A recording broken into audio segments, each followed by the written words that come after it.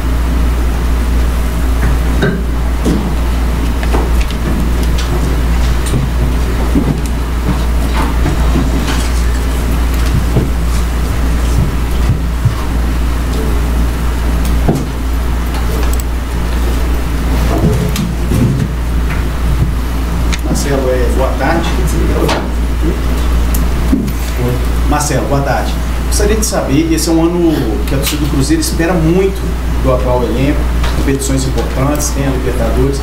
Eu gostaria de saber a sua expectativa de estar nesse grupo e também gostaria de saber, e, é, gostaria que você falasse a respeito de como é a sua característica, qual a sua principal característica para o torcedor do Cruzeiro entender melhor. Boa tarde. Então, estou muito feliz de estar vestindo essa camisa do Cruzeiro. Expectativa é a maior possível, ganhar títulos, conquistar a alegria do torcedor, com muitos títulos. A Libertadores é um, algo que a gente quer, que a gente vai buscar a todo instante, como as outras competições também.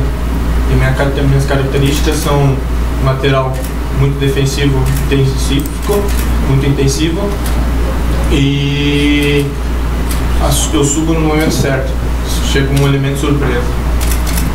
É, existe a teoria e a prática no futebol. Na, na teoria, a gente vê o Egídio como lateral esquerdo de momento do Cruzeiro. Como que você vê essa disputa com o Egídio?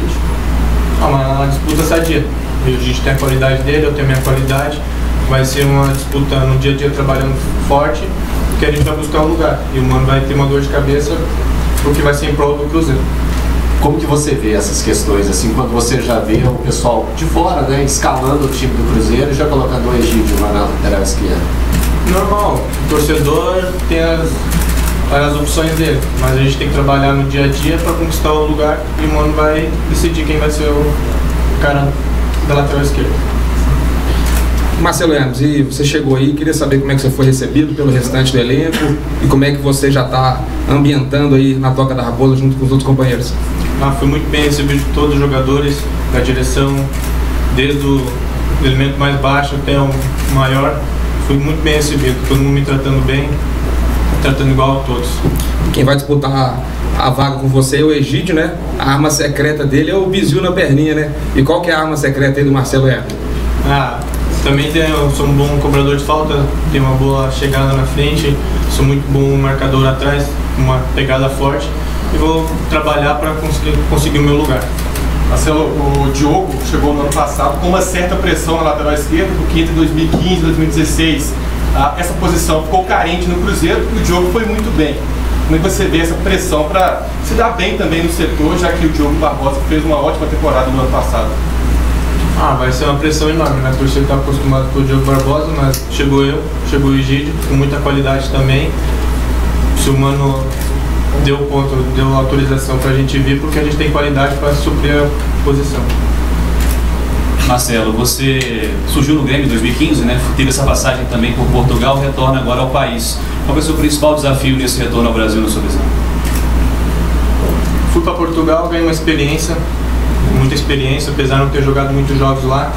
mas no dia a dia ganhei muita experiência na linha de quatro, defensiva, no momento de chegar na frente voltar agora, voltar a minha qualidade que eu estava quando estava no momento no Grêmio.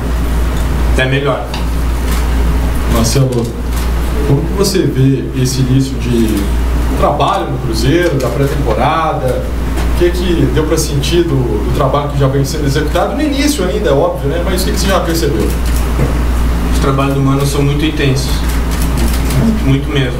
E para ganhar ritmo vai ser muito bom agora no início da temporada, condicionamento físico, para aguentar o ritmo da temporada toda. E em termos de adaptação, já teve alguém que já se aproximou para fazer o papel de mostrar como é que é a toca, de apresentar para os companheiros. Sempre tem um mais animado na turma, a gente sabe, né? um mais amigo, assim, que faz esse papel. Quem que é?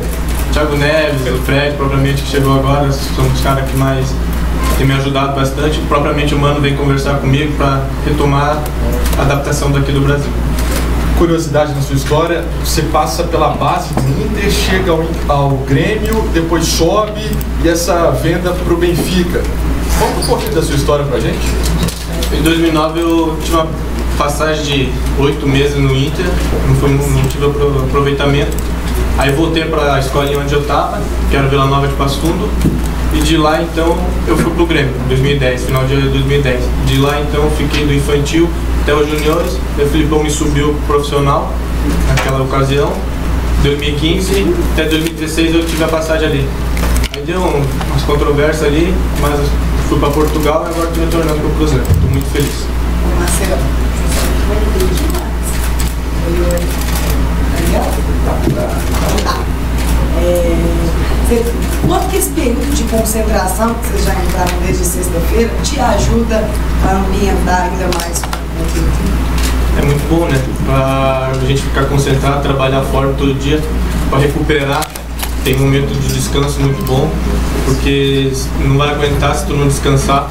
A temporada vai ser grande, precisamos nesse momento, que é poucos dias de pré-temporada, aproveitar o máximo possível para aguentar o ano todo. Você está com algum companheiro na concentração, no quarto? Não, tô sozinho por enquanto, esperando o Edilson vir, que jogou comigo no Grêmio. Ok.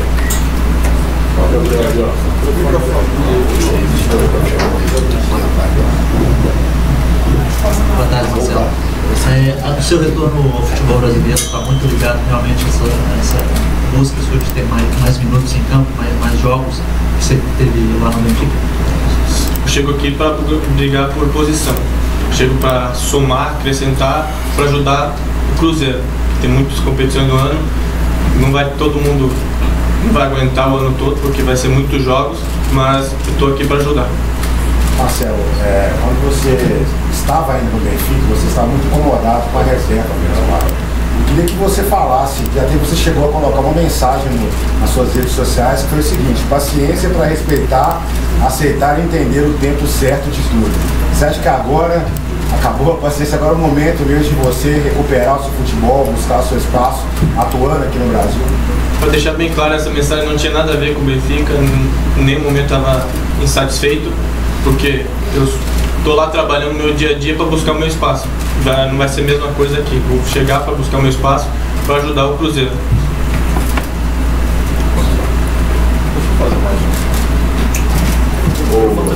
Marcelo, o time quando chega vários jogadores, o Cruzeiro contratou, fez contratações pontuais, reforços pontuais. Já tinha uma base, né? Mano, que foi campeão, o time foi campeão da Copa do Brasil. De alguma maneira, para vocês que chegam, isso facilita porque já tem uma filosofia de trabalho, já tem um, um direcionamento que foi correto na temporada passada. Facilita muito, né? Porque quem vai chegar vai ter que se acostumar ao jeito que o Mano estava jogando. Foi o ano que conquistou a Copa do Brasil e agora acrescentar mais ainda para ganhar mais títulos esse ano. Isso aí, Marcelo, obrigado. Eu? Tá aí. Tá aí.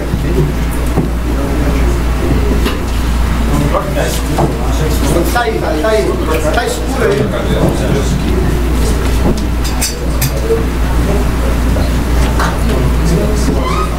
Perguntas aí, tá aí?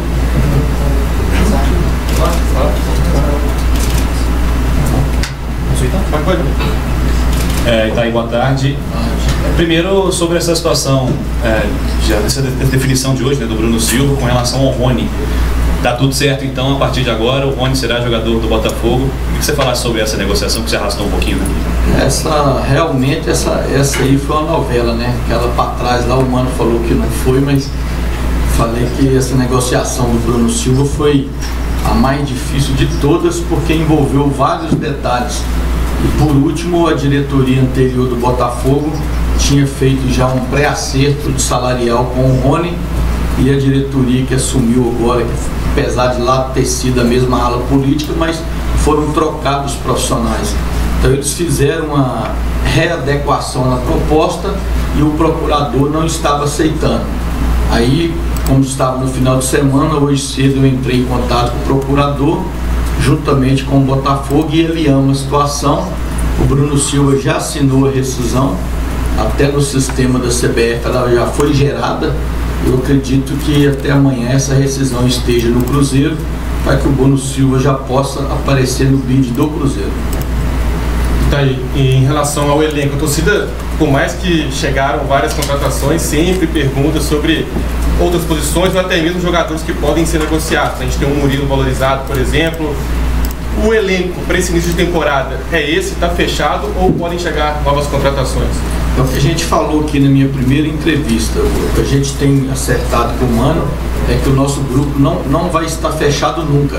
Qualquer boa oportunidade de negócio, nós, vamos, nós estamos atentos e vamos atuar. Ô Itaí, para esses últimos jogadores que foram contratados, é, a gente ouviu que partiu de investidores, né? Quem seriam esses investidores que estão ajudando o Cruzeiro ou o pessoal prefere se manter no sigilo? Para você ter ideia, eu vi na internet que um, um rapaz que era até ex-conselheiro, ex-candidato a conselheiro, colocou lá que ele duvidava a questão dos investidores. A gente queria realmente divulgar, mas eles não querem. Depois daquele dia teve mais um que torce para o Atlético Mineiro, a esposa é cruzeirense, ele tem uma empresa que não precisa do Cruzeiro de time nenhum para divulgar nada, mas por amizade e trabalho de relacionamento do nosso clube, ele esteve aqui semana passada, acho que quinta, né, presidente? E assinou o contrato e amanhã está caindo, para você ter ideia, na conta do Cruzeiro, 650 mil reais de uma empresa que não vai ocupar espaço no Cruzeiro e, e mais, vai ser mais em mídia digital. Então, só para você ter ideia, o nível do relacionamento e a captação que nós vamos fazer de recurso para poder tanto manter o salário dos atletas em dia, como você ter condições de trazer uma oportunidade de negócio que venha aparecer no mercado. Ô Itaí, você falou que o grupo não está fechado ainda, nunca está fechado.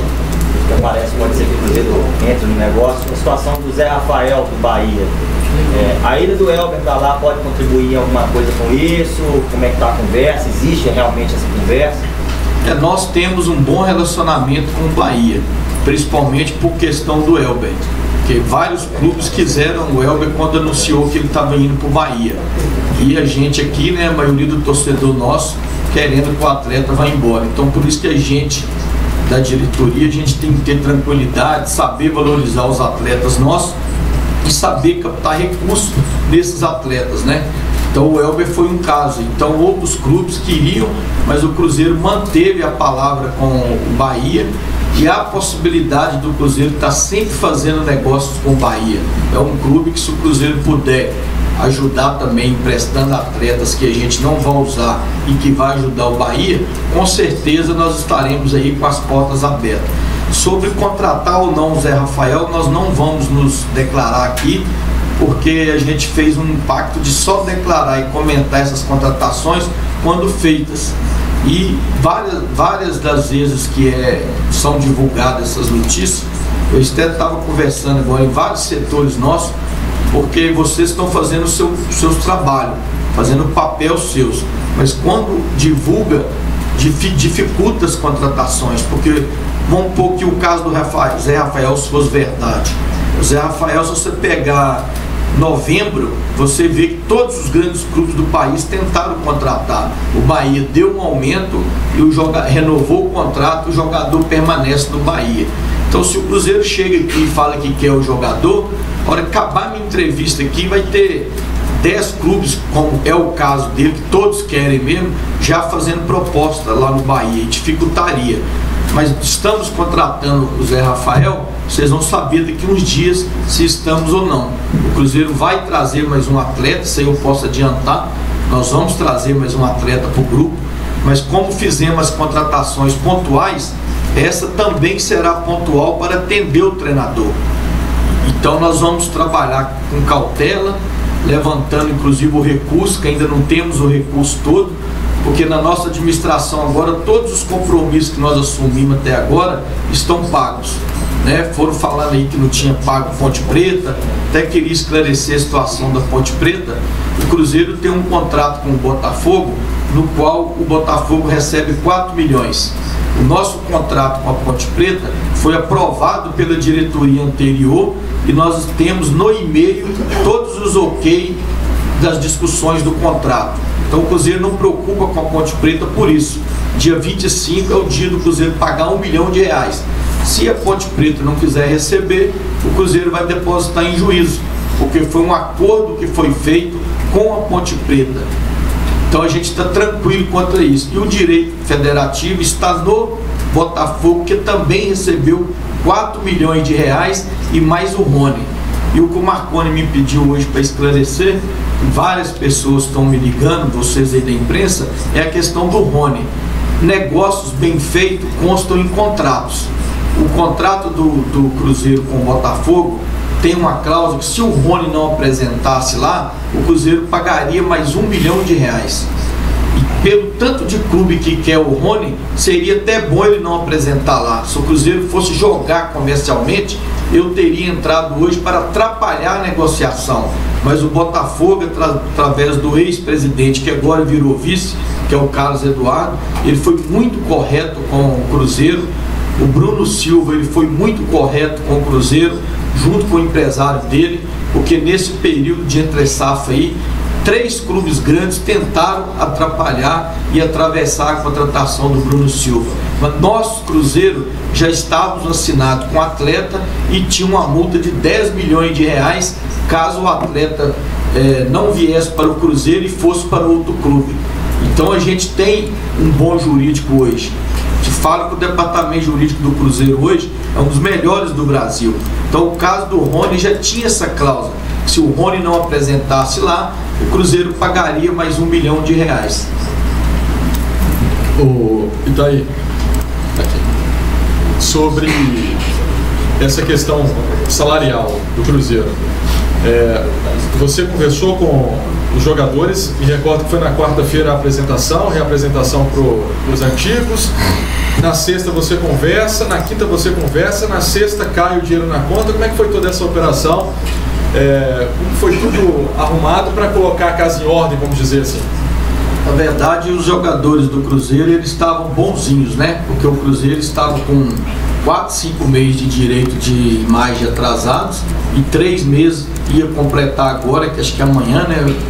Eu nunca trabalhei fechado, sempre corri atrás da minha empresa, então não sei o dia, acho que é hoje, venceria três meses. Então, é, quinto dia útil. Então eu acredito que eu, na minha conversa, juntamente com o presidente, nós falamos com os jogadores que até terça-feira, que é amanhã, estariam quitados os salários. Como tudo andou rápido, na sexta-feira mesmo nós pagamos. Vieram também uma pergunta para mim, um ou outro jogador não tinha recebido. Eu não sei como vocês descobrem as coisas.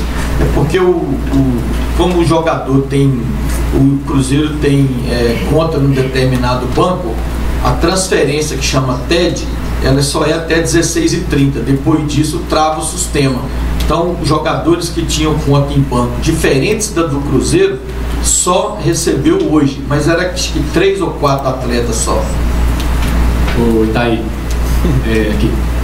É, com relação aos, ao dinheiro que o Cruzeiro está recebendo de investidores, você citou até um valor de 650 mil, é, não pôde falar o nome da empresa.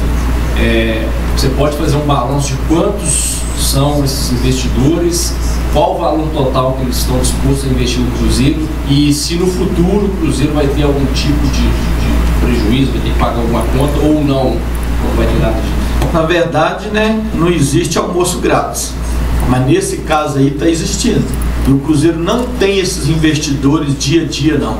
Esses investidores foram captados para a contratação, que a princípio seria do Lucas Prato. A gente fez todas as negociações, reunimos com São Paulo, eu reuni com o atleta, com procuradores do atleta em São Paulo, juntamente com o Digian. Então, esse, como esse dinheiro era para pagar esses, esse, essa contratação, que o Cruzeiro não tem o recurso para fazer uma contratação desse nível.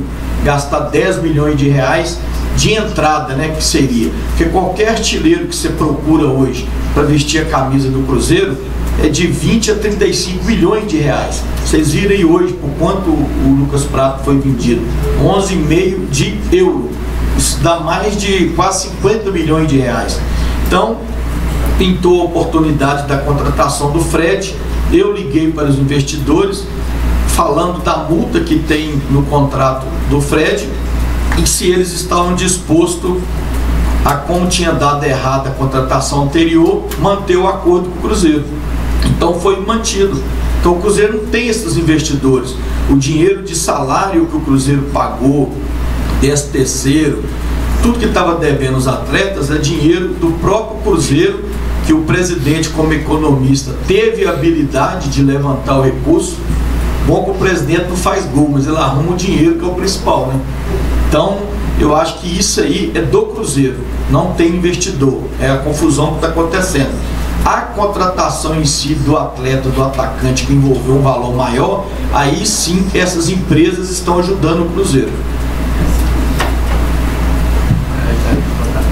É, esse dinheiro que você falou aqui do, do próprio Cruzeiro veio de adiantamento de conta de TV? Como foi? De onde veio esse dinheiro? Não, esse dinheiro o Cruzeiro abriu uma linha de crédito, o presidente fez uma negociação com o banco e abriu uma linha de crédito e o Cruzeiro nos próprios seis, próximos seis meses vai quitar esse valor. A gente espera quitar como? Com mais venda de camisa, com a contratação boa, boas contratações que nós fizemos, aumento de renda no, no, nos jogos no Mineirão e um trabalho ousado e mais aguçado que vai ser feito agora pelo Marco Antônio lá no, no nosso departamento comercial e de marketing. Então esse dinheiro ele é um crédito que o Cruzeiro tem no banco que está sendo usado, um juro que foi um juro muito bom para o Cruzeiro. E isso a gente teve que fazer esse recurso, porque a gente não esperava pegar o clube na situação que pegou, porque tinha sido falado antes que estava tudo em dia. Então, mas nós estamos aqui, né, o presidente assumiu e já disse que os problemas do Cruzeiro são do Cruzeiro, indiferente de quem passou pelo Cruzeiro ou não, se foi certo ou não os problemas que foi arrumado. E outra coisa que tem se falado de Cruzeiro deixou Cruzeiro devendo. A gente tem que valorizar também que qualquer clube no país hoje gostaria de ter a dívida que os débitos que o Cruzeiro arrumou para ter dois títulos brasileiros e ter o título da Copa do Brasil. Qualquer clube queria isso hoje. Tá, tá com a situação de dinheiro, mas também ter esses títulos. Eu, por exemplo, é minha opinião, eu preferia ter a dor de cabeça de ter que arrumar dinheiro, mas também ter os títulos. Dá para fazer os dois? Ganhar títulos e manter o clube saneado? Dá. E é o que a gente pretende fazer. Por isso que eu sempre brinco, né, que o presidente, sendo economista, vai ajudar muito o Cruzeiro nessa área. É, outra pergunta, é, nessas negociações envolvendo o Rony, o Alisson e o Elber, como ficou a questão dos direitos que o Cruzeiro ainda tem dos jogadores? O Rony é. O Cruzeiro vai ficar com 40%, o Botafogo com 40%, não tanto por estar trocando em Bruno Silva, mas porque o Botafogo vai usar a camisa dele para o jogador jogar e se valorizar lá. A questão do Elber, o Cruzeiro manteve o percentual dos parceiros e quando ele for vendido, o Cruzeiro ainda terá, se não me engano, aí de 10 a 20%. Porque hoje é que está acabando de fechar com os parceiros a repactuação dos percentuais.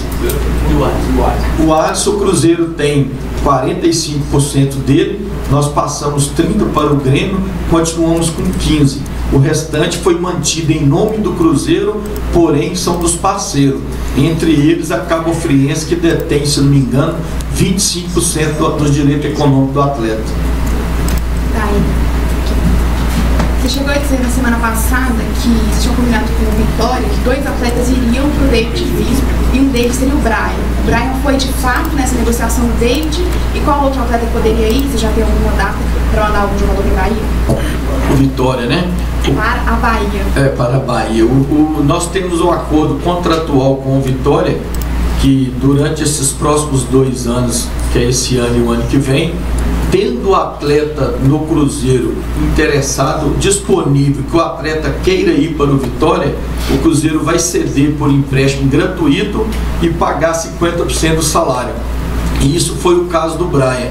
A gente ofereceu outros atletas, mas até o momento eles não tiveram interesse. Mas isso sim é uma realidade do contrato que a gente tem com o Vitória. E aproveitando a pergunta que todo mundo também ficou perguntando, a questão do David. É, ontem chegou os exames dele para o nosso médico e o jogador chega no Cruzeiro amanhã à tarde, amanhã à noite, sai de lá à tarde, chega em Belo Horizonte à noite. Depois de amanhã ele estará aqui na toca já terminando o tratamento e fazendo os trabalhos normais que o doutor indicar para que ele seja regularizado mais rápido a treinar com o grupo.